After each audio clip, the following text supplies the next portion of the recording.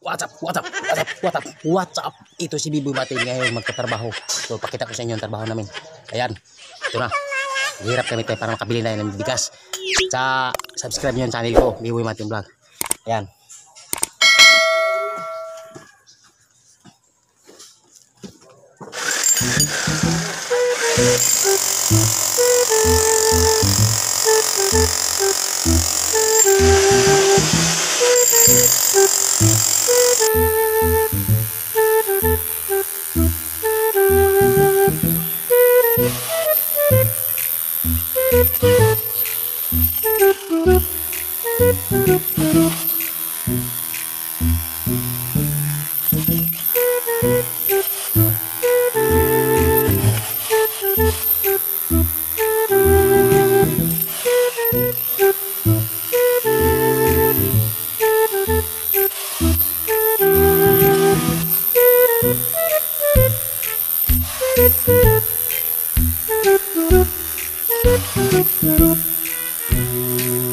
Yan.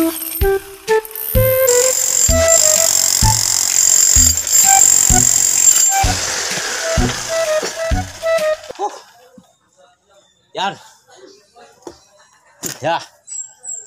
Para sa pangbigas to guys. Eh, si Eh, Ay ako kasi Daw. pang palapit-palapit na aking laban. January 9. Ang kalaban ko si ang Baboy TV. Kaya yan guys. Yan. Kunin mo muna to yung wire baka, baka matamaan.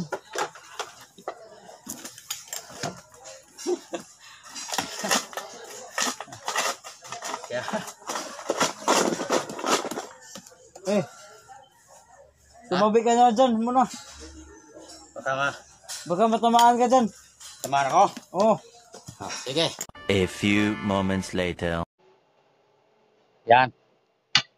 Saan naman to? Whoops. Okay, duha pa, di ganun. Ah, okay na idol.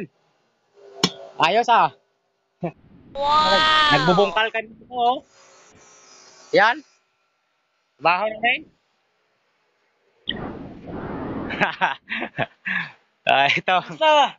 Work na rin. Ayan oh, pastor oh. eh, Kasama, pas- kasama ako pastor. Taro mo ako ng boxing. Pa- pastor ah, pastor. Ka- Kasama namin simbahan.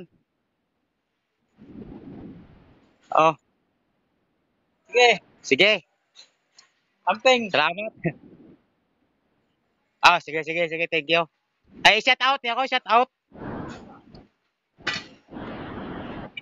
Sige, thank you. Ah, shout out ko ng mga nakapag-shout out dyan. So, shout out ko muna itong aming company HNKL or HN Furniture Design. Huwag sa aming amo, ah, si Sir Lindsay. At shout out pala sa mga Tapon Vibes. Shout out lang sa mga lahat ng mga vlogger dyan ng mga kilala. Pati na kay Ate Gilpen o Ate Cecil OFW. So maraming salamat sa inyo lahat dyan. Sa lahat ng mga vlogger. Yan. So marami akong mga kasama dito. Yan. Ito guys. Ah. So shout out pala sa mga ah, Duni Duni Ahas Nites. Og barboy ng Cebu o Guillermo Baksin Jim o ah Coach Gigil ng Cebu. Bro.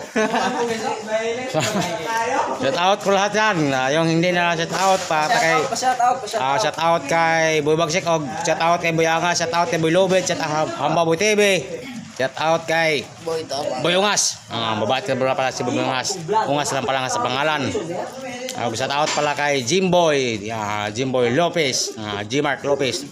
Shout out, shout out sa mga lahat dyan, nga, mga kilala ko dyan kasi ang dami-dami nyo na nagpa-shout out. Sa susunod na shout out rin iba, susulat ko na sa papel kasi ang dami nyo. Ngayon, ah, kunti lang oras ko kasi tarba, busy ako sa trabaho. At maraming suporta sa inyo. At palagi nyo subscribe at patuloy nyo, ah, pindutin nyo ah, button of bell para update kayo sa aking channel. Bye-bye, thank you, bye-bye.